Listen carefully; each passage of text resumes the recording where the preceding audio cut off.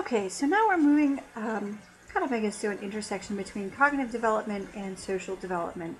And that's the issue of how our level of moral reasoning changes as we get older. So, Hans Kohlberg uh, proposed, you can see back in the 1960s, that as we develop cognitively, our moral reasoning also changes. And he proposed six distinct stages.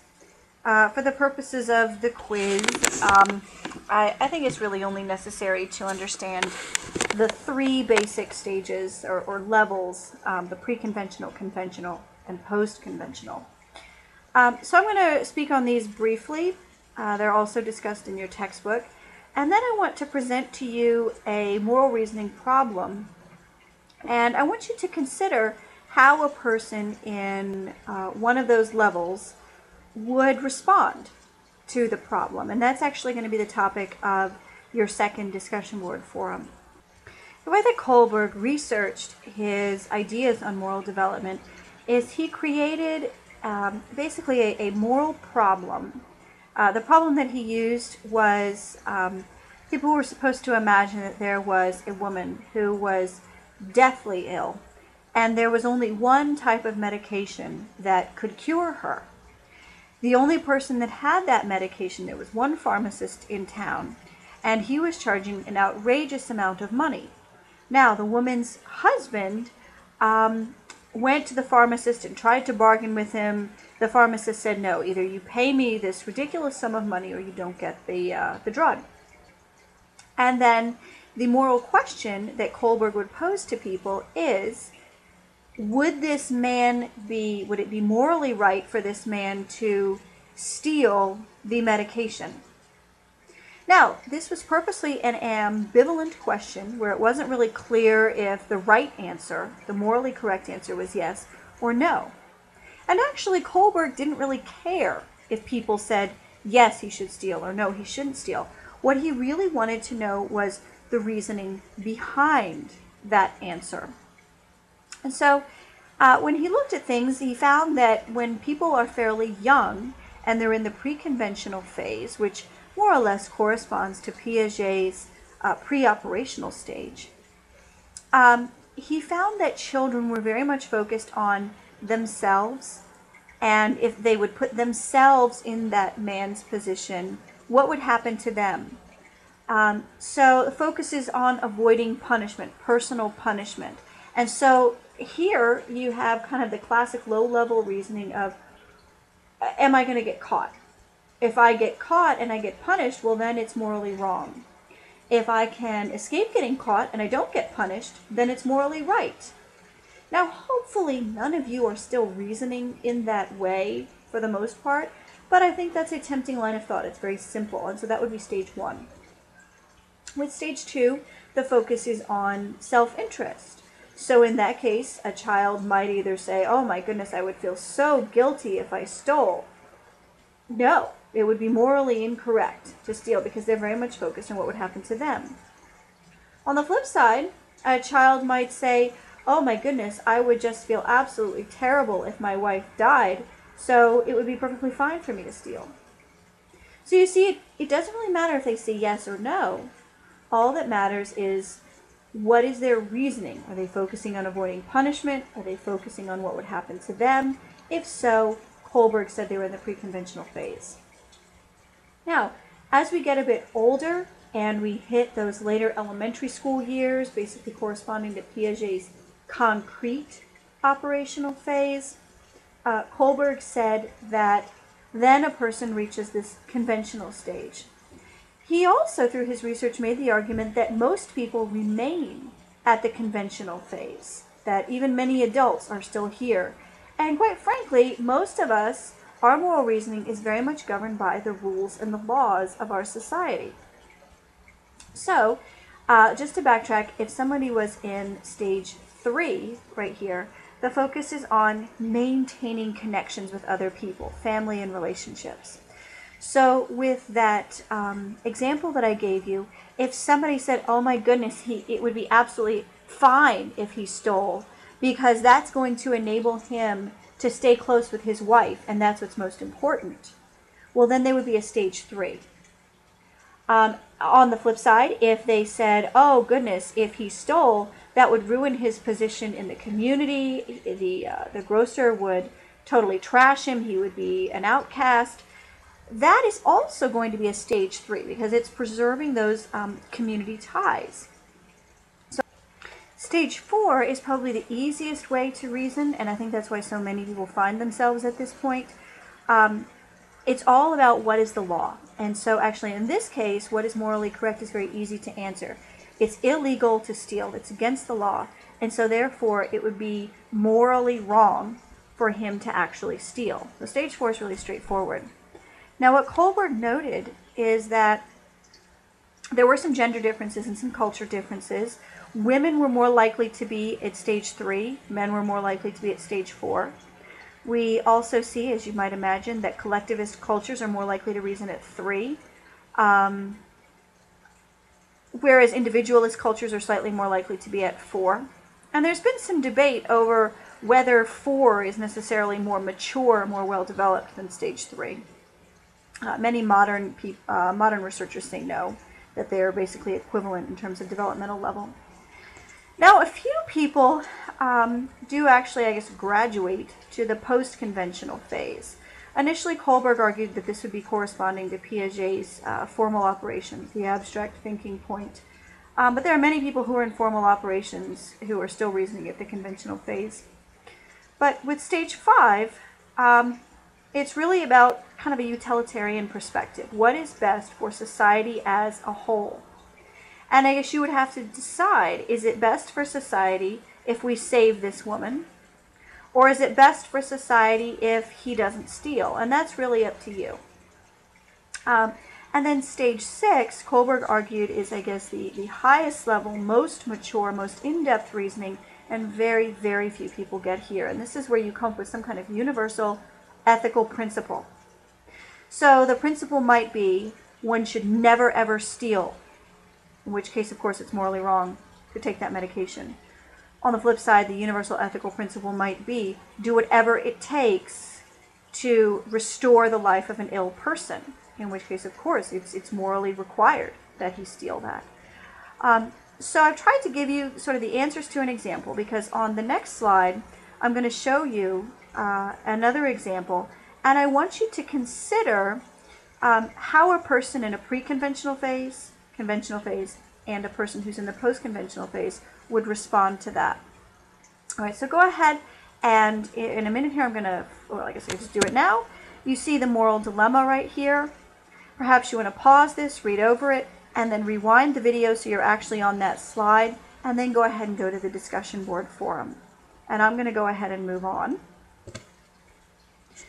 All right, so now I'm moving into social development, and what I'm really focusing on is attachment. And this issue of attachment is something that it develops in us at a very young age. And our level of attachment um, as it's developing in infancy actually seems to predict the quality of our attachment in adulthood. So for the third, third and final discussion board forum, what I'm asking you to consider is how these youthful attachment issues might impact a person in adulthood. If you haven't already, I strongly encourage you to stop this video, go ahead and look at the videos of Harlow, uh, Harry Harlow's research. Um, so take that time, do that, and then come back. All right, hopefully you had a chance to look at that. And I want you to give some thought to these questions that I have up here. If we were in class, I'd have you do a little discussion on it. Um, and I do want you to actually give it some thought before you advance uh, to the next slide where I talk about it in a little bit more detail. Think about those baby monkeys and what their life must have been like as adults. So they were raised with no real um, provider, no real care provider to give them that sense of attachment and connectedness. Because even though that cloth mother was soft, she wasn't giving the um, kind of give and take that a normal caregiver would provide. So how do you think those baby monkeys, as they got to adulthood, responded to stress? Do you think they responded pretty well, or do you think they might have had problems? How do you think they responded to potential mates? Harlow actually did a study where he brought in sexually receptive adult female monkeys, and all the ones in the experiment were male. Do you think they were interested in mating? And then also, um, in later research, when he had female monkeys um, who were exposed to this same kind of lack of attachment, when they grew up, he gave them um, infant monkeys to care for. How do you think they did then, as as mothers, as parents? Um, so uh, I'm not going to worry too much about those bottom questions, but I want you to give some thought to those three. Maybe even pause the video, think to yourself, look at the textbook a little, and then uh, carry on. Okay, so I want to point out that when Harlow was doing this original research, which probably to you, like to me, seems just like cruel and unnecessary research to be performing, but at the time, um, researchers and, uh, and parents alike were uh, somewhat of the belief that if you were overly affectionate with your child, you were spoiling them and you were going to cause them to be really dependent upon you. Um, and so Harlow's research, even though it was really severe and perhaps hard to watch, um, what it showed us is that caregivers and the provision of love and attachment to a child is absolutely fundamentally important for that child's healthy development. We also understand through Harlow's research and later work that infants will form attachments instinctively to any consistent caregiver. It used to be thought that it was only the mother, but of course now we know it's a mother, a father, a nanny, an adoptive parent, anyone who is available to the child, who is responsive and sensitive to their needs, uh, that child is going to form a healthy attachment. Another thing that might be especially good to hear for uh, working parents who don't spend as much time with their child as perhaps they'd, they'd like to is that it seems to be more about the quality of the interaction rather than the quantity. It's really more about how you are interacting with your child rather than the sheer number of hours that you spend together. Now, I asked you before to consider how those baby monkeys responded when they grew up. And what Harry Harlow actually found is that those monkeys were horrible at responding to stress.